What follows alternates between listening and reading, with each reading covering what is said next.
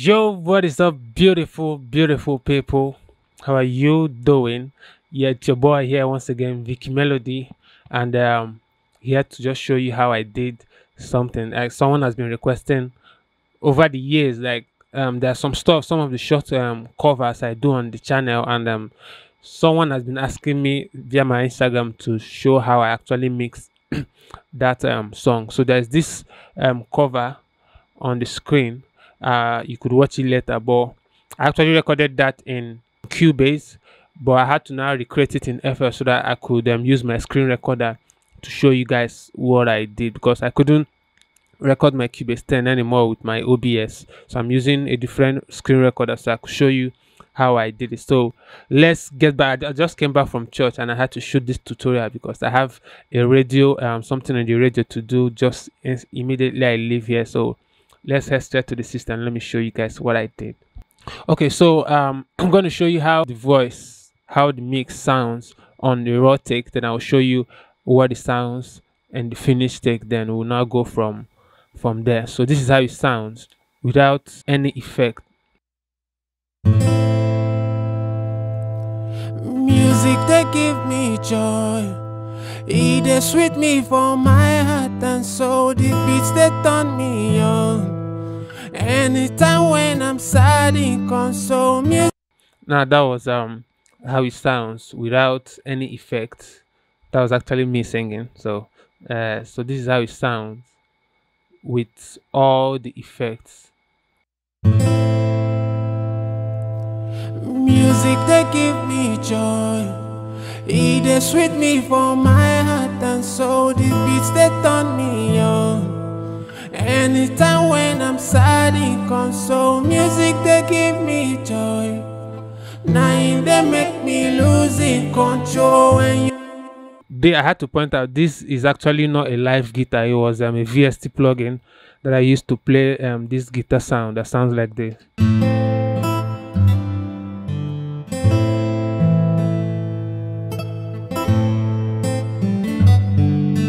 Sounds so live. I had to show you guys what I used to play because you know I like to show you everything. It's called AGML2. It's a very, very um it can emulate like live guitar, but I actually have live guitars here that I play to get the live guitar feel, but this will get you close. this plugin here, AGML2, it will get you very close. It's ample guitar light too sounds sounds very. Now back to our project. I started the first thing i did was i had the vocals in their own channel then i now had to send i had two lead vocals because i had two takes so i i sent the both of them to a lead bus like you see this one going into the lead bus this going to the lead bus they're not going through the master.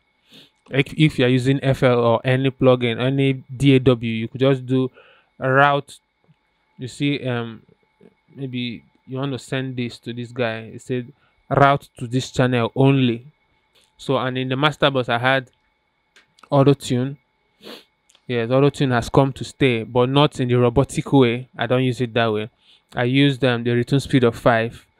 The vocal was good, but I had to now use the um, auto tune. I used auto tune for a certain color, not for it to be like um, you know that you understand how auto tune makes a vocal cry. But the main thing is sing on key perfectly, but nobody sings hundred percent on. If you if you hit a C note on a keyboard, it is hundred percent C. That's digital, but no human being sings hundred percent C. no human being on earth even michael jackson his producer at some point uses auto-tune graph. I've seen and when they were explaining how they use the auto-tune to pitch correct. So it doesn't matter. Auto-tune is not a bad thing. So i had to set it to the right key. And since i'm a male i had to use like um the auto tenor. If you use like the soprano it's going to sound kind of too robotic. That's what i found out. For most guys it is auto and tenor, then the key of the song, then the the scale. You know those those shit. I'm not supposed to say shit. This is the first time I'm saying shit on this channel, man. Hope YouTube doesn't block me. Then I use them um, a humanized, a humanized um. I had to humanize it more to sound more human to remove it from the robotic um side. and that was all. That was what I did on the two um, lead vocals and also on the backup track, the same thing. Sending all of them to the lead bus. I didn't want to do like um, a separate bus for backup, and this is just a, um, a cover, not like a professional song. So on the lead bus, I brought in my compressor.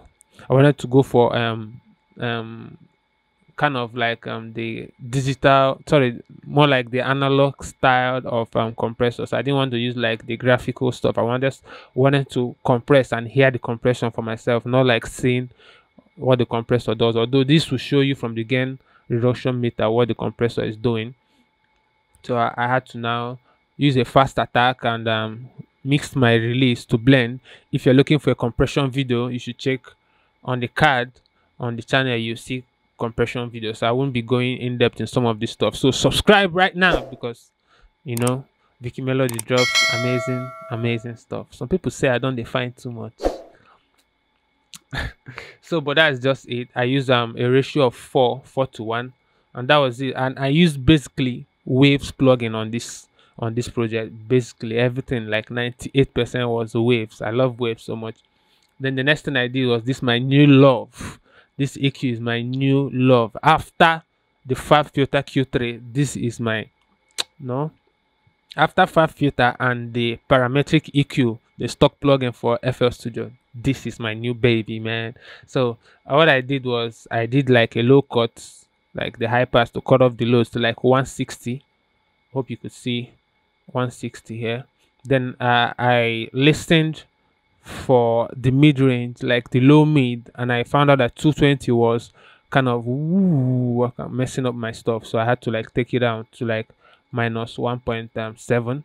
Then in the mid range, 1.6 has life in it. I gave you like um, a 1.8 dB boost. Then in the highs, uh, the mic was already um, sounds good. It's a Rode NT1A mic then it sounds good naturally so i didn't want to like give you like a so much high but i gave you like a 0.4 db boost on the 12k 12k 10k those those places sound dope on vocals so that was all for the eq and then i brought in my de-esser you know you guys know what de-esser is in case you don't know de-esser takes out the s's s and t all those um hash frequencies all those harsh frequencies, you know, they take it out. And also, there's something I had to mention. Uh, uh, is an impression that I, have always wanted to correct, but I think it's right to point it out. You are a young producer coming up, and you watch most of these big guys, um, the people we look up to, and they hold their microphones on their hand with no pop filter. That that that shit is crazy. that It's it's wrong. Like it gives the mix engineer so much work. The reason why pop filters are there is to remove the the P's and the B that come out come out with heavy air. If you're watching this microphone I'm using has foams, it is to reduce those B's and P's. And also holding your mic on the hand, the um, condenser microphones is not actually a good thing. It's good to have it on a stand because blood flows through your hand and if you put your hands over your ears you hear like kind of sound. Those are movements of blood and your mic could easily pick them out. Although we could deal with those stuff with low cuts and the rest but it's not a nice thing to do. So back to our tutorial.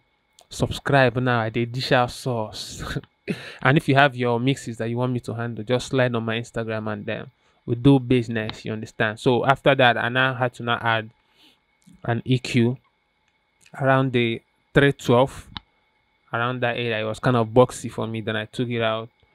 Boom and that was it. So i will do um a before and after then hear what it sounds like. Let me play a different section. So I feel the fire burning up in the sky. I'm lonely. Take anything you want from me. So that was without all these um plugins. Then with it, so I feel the fire burning up in the sky. I'm lonely. Take anything you want from me. The vocal was now strong. Understand? So, and that was it. And if you could listen carefully, I don't, I don't know if you could hear it, but you hear some white noise in in the mix is actually nice. The, a plugin here that are analog model they're trying to emulate those white noise from you know the desk. Sometimes those things add body to our um our mix.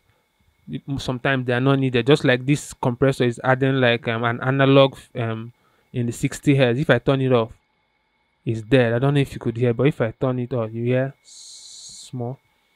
But I, I just needed it here because it's just a simple um there is no percussion there is no drum there's no kick. It's just um um a light um, frequency spectrum. So i needed every sound to just add up.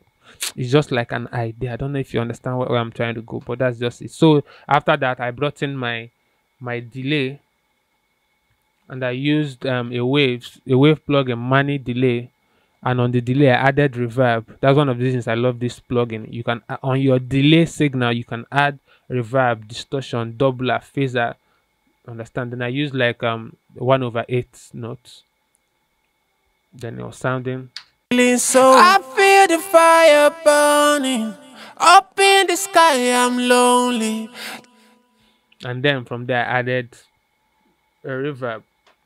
Now in songs like this, since um that have um, few instrumentals playing, you need to fill up your frequency spectrum so that the mix will be balanced. That's one thing you should have in the mind.